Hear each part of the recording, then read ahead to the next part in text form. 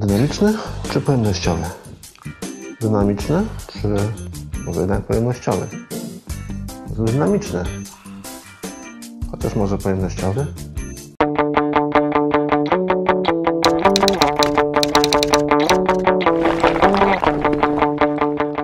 Wbrew pozorom decyzja, czy wybrać mikrofon dynamiczny, czy pojemnościowy, wcale nie jest taka prosta, bo nie każdy mikrofon będzie nam dobrze działał w każdych warunkach. Jakie są różnice między mikrofonem dynamicznym a mikrofonem pojemnościowym i jaki to ma wpływ na jakość nagrywanego przez nas dźwięku? Mikrofon pojemnościowy jest dużo czulszym mikrofonem. Jest to z jednej strony zaletą, ponieważ dużo ładniej zbiera e, dźwięk, dużo ładniej odtwarza też nasz dźwięk, na, nasz głos, to co nagrywamy, ale z drugiej strony, ponieważ jest dużo czulszy, dużo bardziej zbiera dźwięki z otoczenia. Jeżeli będziesz korzystać z mikrofonu pojemnościowego w pomieszczeniu, które nie jest dobrze wytłumione, to będzie słychać tykanie zegara, będzie słychać hałas za oknem, będzie słychać czekającego psa sąsiadów, będzie słychać krzyczące dzieci na podwórku. Wszystko, wszystko, wszystko po kolei, wszystkie dźwięki, szum laptopa, pstrykanie długopisu, wszystko to zostanie zebrane przez mikrofon pojemnościowy. Mikrofon dynamiczny jest dużo mniej czuły. Działa na zupełnie innej zasadzie. I pomijając już w tej chwili kwestie techniczne, w jaki sposób funkcjonują w ogóle mikrofony, dynamiczny nie jest tak czuły jak pojemnościowy.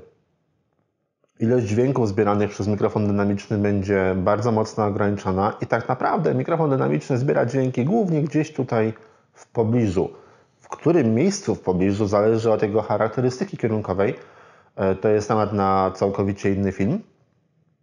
Natomiast nie będzie zbierał dźwięków, które, cichych dźwięków, które będą gdzieś oddalone, czyli raczej nie powinno być słychać szczekania psa sąsiadów, nie będzie słychać tykania zegara, nie powinno być słychać również i hałasu na dworze. Mówię nie powinno, bo przyjeżdżającą karetkę wyłapie każdy mikrofon, niezależnie od tego, czy mikrofon jest dynamiczny, pojemnościowy, podpięty do laptopa, do miksera, czy taki, z jakiego ja w tej chwili korzystam. Duży hałas i tak będzie zebrany przez praktycznie każdy mikrofon. Natomiast jeżeli chodzi o drobne dźwięki, które są w tle, ale mimo wszystko jednak przeszkadzają, moglibyśmy je usunąć. Dynamiczny będzie tutaj w tym przypadku, ponieważ mniej czuły, będzie trochę lepszy. Z drugiej strony mikrofon dynamiczny nie ma tak dynamicznej, tak ładnej, ciepłej barwy głosu jak mikrofon pojemnościowy, więc to też musimy wziąć pod uwagę. Być może na etapie później już postprodukcji trzeba będzie troszeczkę gdzieś tam niektóre elementy podszlifować. Jak wygląda kwestia podłączenia mikrofonów? Mikrofony, z których ja korzystam, mają gniazda XLR. To są takie gniazda. Tego typu wtyczkę wkładamy do mikrofonu i drugą wtyczkę kabla XLR wkładamy do interfejsu audio, do miksera, jakiegokolwiek innego urządzenia. Może się zdarzyć, że tego typu kable są zakończone wtyczką standardowym jackiem 3,5 mm. I z jednej strony jest normalnie XLR, który wpinamy do mikrofonu, z drugiej strony jest mały jack. Takiego jacka wpinamy do komputera, wpinamy do karty dźwiękowej, ale nie każdy mikrofon będzie z czymś takim działał. Mikrofony pojemnościowe charakteryzują się tym, że wymagają ogromnego zasilania.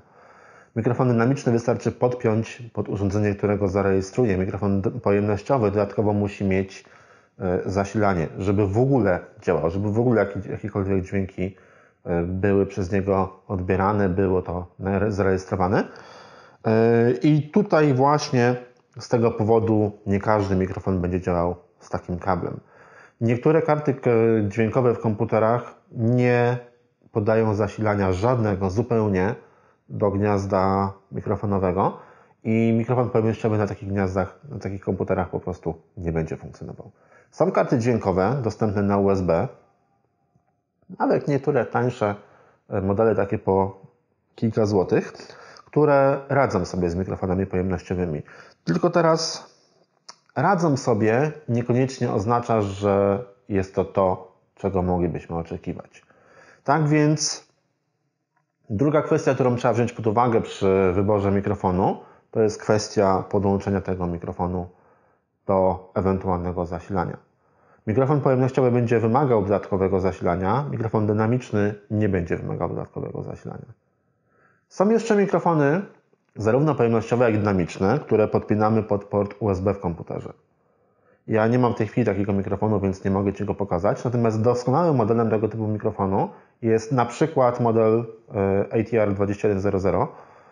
Link znajdziesz pod spodem pod filmem. Jest to mikrofon dynamiczny, który posiada dwa gniazda. Z jednej strony e, można go podpiąć pod na przykład mikser, interfejs audio e, przez, przez XLR.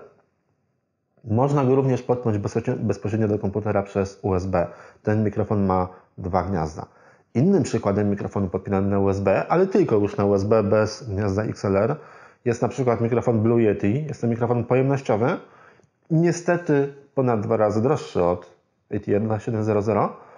Natomiast jest to bardzo dobry, wysokiej jakości, wysokiej klasy, porządny mikrofon pojemnościowy, który też nie wymaga żadnych dodatkowych źródeł zasilania, żadnych dodatkowych interfejsów, żadnych mikserów, żadnych innych rzeczy. Po prostu podpinamy kabel USB pod komputer. Takie mikrofony niestety z reguły są droższe, ale z jednej strony, żeby skorzystać z mikrofonu pojemnościowego, musimy do, do niego mieć jakieś źródło zasilania, czyli interfejs audio, ewentualnie jakiś mikser, e, który jest wydatkiem i to wydatkiem od, kilkudziesięciu zł, od stu kilkudziesięciu złotych wzwyż, wzwyż do prawie bez limitu.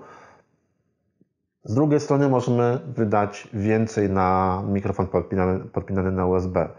Z jakiego mikrofonu skorzystasz? Tak naprawdę zależy to od kilku czynników. Z mikrofonu pojemnościowego możesz skorzystać, jeżeli masz dobrze uszczelnione pomieszczenie, jeżeli Twoje pomieszczenie jest dźwiękoszczelne i jeżeli masz możliwość wyeliminowania wszelkiego typu szumów, hałasów w tle, e, hałasy z ulicy, e, czy też innych dźwięków, które są w domu. Mówiąc o innych dźwiękach, mam na myśli na przykład szum wentylatora w laptopie, ewentualnie szum lodówki w kuchni, pralki, zmywarki, różnych innych urządzeń. To nie musi być od razu hałas krzyczących na siebie sąsiadów. E, jeżeli masz możliwość wyeliminowania takich dźwięków, możesz użyć mikrofonu pojemnościowego. Jeżeli nie masz możliwości wyeliminowania takich dźwięków, zdecydowanie proponuję mikrofon dynamiczny. Mikrofon dynamiczny nie będzie taki czuły i nie będzie zbierał dźwięków lodówki chodzącej w drugim pomieszczeniu nie powinien również zbierać zbyt wielu dźwięków gdzieś z otoczenia, gdzieś z zewnątrz, spoza pomieszczenia. Chodzi mi o dźwięki takie jak na przykład czekający pies u sąsiadów, czy jakiś szum na ulicy. Jeżeli masz możliwość skorzystania albo zamierzasz rozbudowywać jeszcze później swoje studio i będziesz chciał skorzystać z dodatkowych elementów, z dodatkowych urządzeń, polecam mikrofony z gniazdem XLR. Takie mikrofony wpina się do miksera, do interfejsu audio, ale dzięki temu jest możliwość skorzystania jeszcze z kilku innych urządzeń. Możesz podpiąć kilka mikrofonów, na przykład dla siebie, dla Twojego rozmówcy. Dodatkowo podłączyć jeszcze telefon, tablet i jeszcze parę innych urządzeń i wszystko razem spiąć i razem do jednego pliku takie dźwięki nagrywać.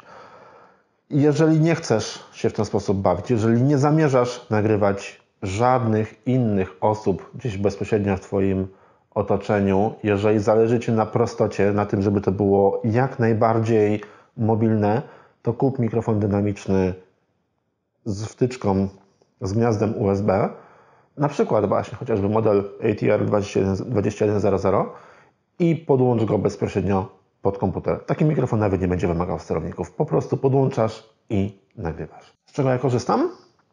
Ja korzystam z tego mikrofonu. To jest Shure SM58.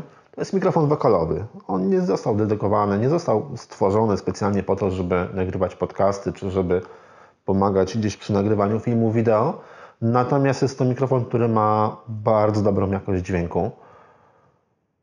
Jest używany od wielu, wielu lat przez wielu różnych producentów, przez wielu różnych wokalistów, również przez wielu różnych podcasterów i jest to naprawdę świetny sprzęt. Osobiście polecam ten mikrofon e, e, Shure SM58. Można go kupić na Allegro używany już za 100, 100 kilkadziesiąt złotych. Nowe niestety są dużo droższe. E, I ja mam ten mikrofon podpięty do mojego miksera. Korzystam z miksera podłączonego pod mój komputer przez port USB, w związku z czym ta transmisja jest dla mnie dosyć wygodna, bo na komputerze nie są wymagane żadne dodatkowe sterowniki, żadna dodatkowa specjalna obsługa. Natomiast pod mikser mogę podpiąć mój mikrofon, mogę podpiąć mikrofon mojego rozmówcy, e, mogę podpiąć jeszcze na przykład telefon e, komórkowy, aby móc nagrywać połączenia telefoniczne. Mogę podpiąć jeszcze inne urządzenia i dzięki temu no, możliwości konfiguracyjne takiego mini studia są dużo, dużo większe.